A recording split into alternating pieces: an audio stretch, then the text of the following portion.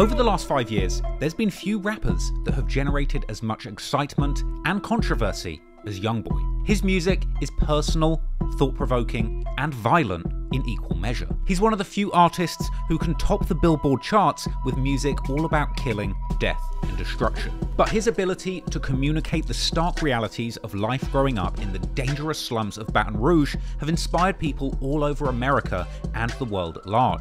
Youngboy's experiences in the gang infested slums of Louisiana, where it's kill or be killed, inspired a generation of downtrodden youngsters to struggle through the pain too. Because despite losing family members and being the target of new numerous assassination attempts, Youngboy has always managed to come out on top. Not just surviving, but beating the odds and coming back bigger every single time.